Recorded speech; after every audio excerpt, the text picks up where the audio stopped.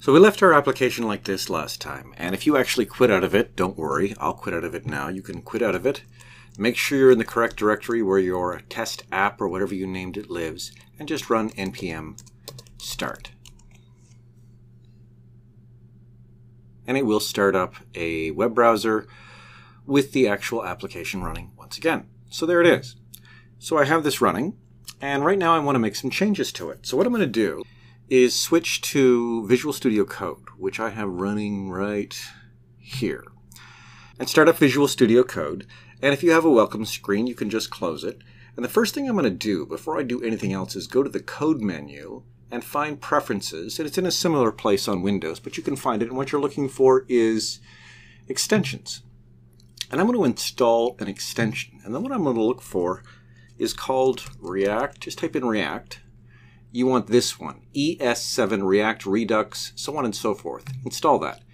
It will just make things a little bit easier for us when we're done. So once it's installed, this will change to uninstall, so you can close this. And click on this icon in the upper left-hand corner, and we're going to open the folder we just created. And I put mine on my desktop, so I'll go to my desktop, which is here somewhere. There it is and I called it React Apps, and I'm going to open Test App and open this folder. You'll see right away there's quite a bit of stuff in here. We have a source folder, we have a public folder. Let's look inside the public folder to start with. Inside of that I have a lot of files. A robots.txt, which is kind of standard when you're deploying something to the internet to tell search engines how to pay attention to your content. The fav icon is just an icon. We can ignore that. This is the one I'm interested in, index.html. So I'm going to open that file.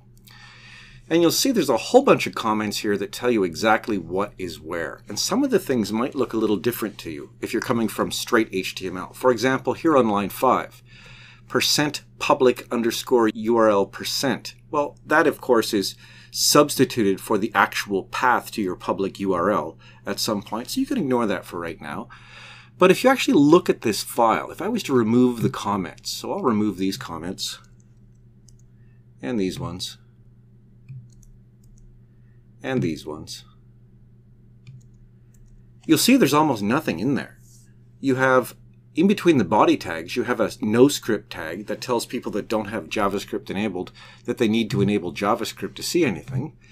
But the only other thing you have is div with an ID of root and nothing inside of it. And yet, when I look at my web browser, I have all this content. So where is this coming from? Well, it's actually coming from, and this is the other important folder, the source folder. Inside of here, I have a whole lot of JavaScript files and CSS files. I have an SVG file, which is an image file. And of course, that's the spinning image we see on our web page. But there's a lot of things that we can change here. Now what I'm going to do, and this will seem strange to you, but I'm going to delete a bunch of stuff. I'm going to delete setup uh, test.js. I'll delete that. I'll delete the logo. I'll delete the app test.js. I'll delete the app.js, and I'll leave everything else. I'll leave, actually, I'll delete the app CSS too. Delete all of that. Okay, so I'm going to right click on it and choose delete.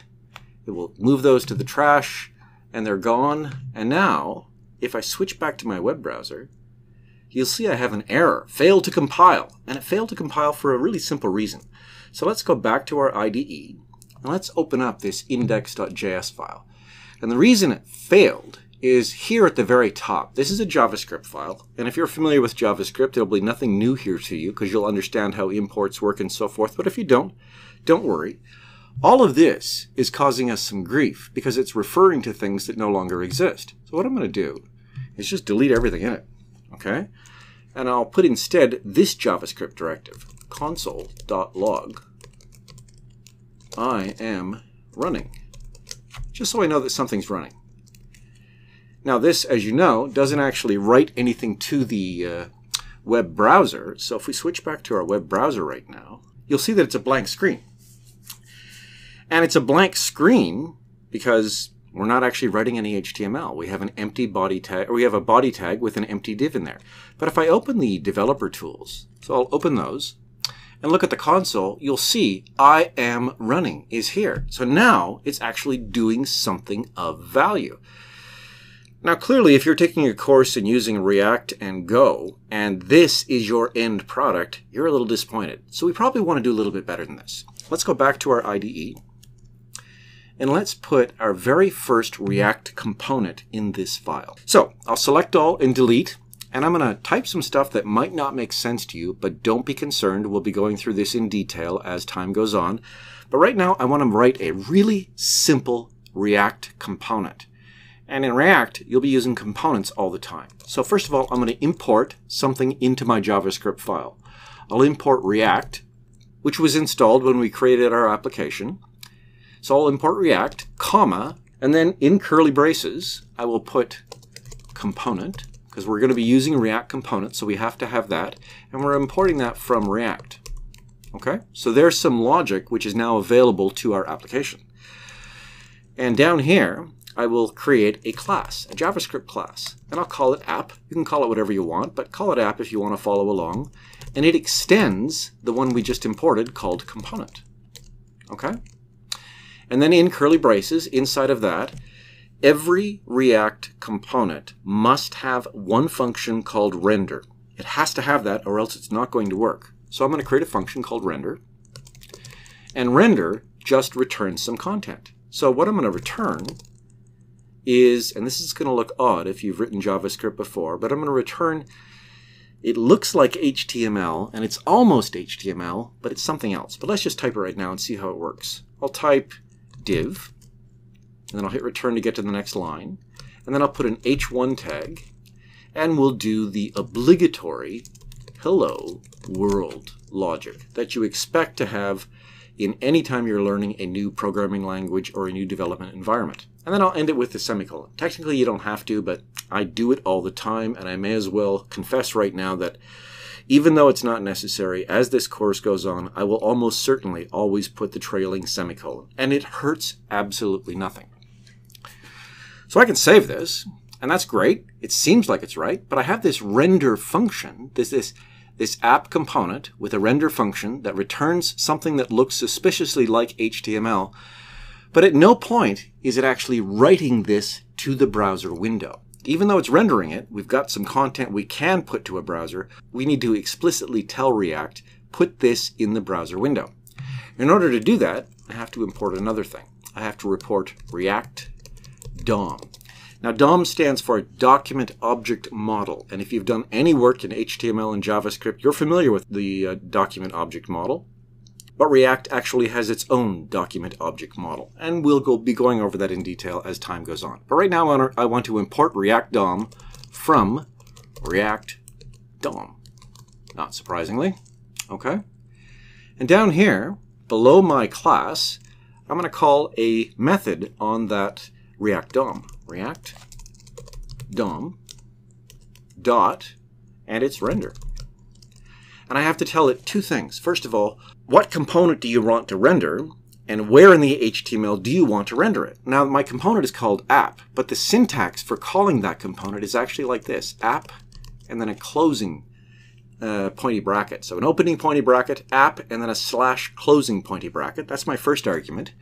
And I want to put this, if you look at our index.js, or index.html, I want to put it right here in that div with the ID of root. So back in my index.js, my second argument to React DOM.render is get me a reference to the ID root in my document. And we use the standard JavaScript document.getElement by ID, and case matters in JavaScript, so pay attention to how you type this.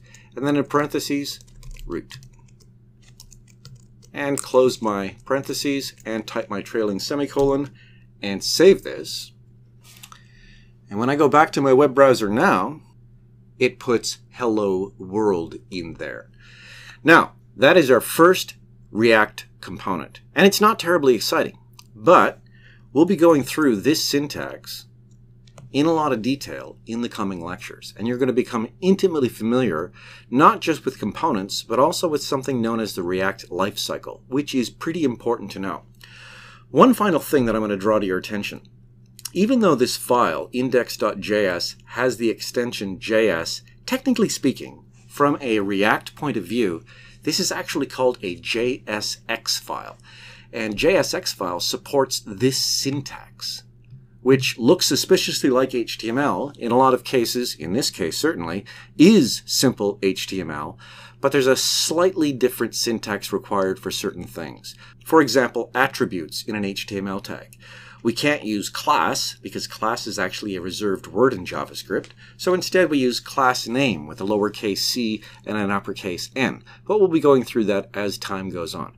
Right now, we have successfully installed our first React application. We've deleted a lot of things that were installed by default, and we have created and deployed our very first React component. All right, we'll be building on this project as time goes on, and let's get started in the next lecture.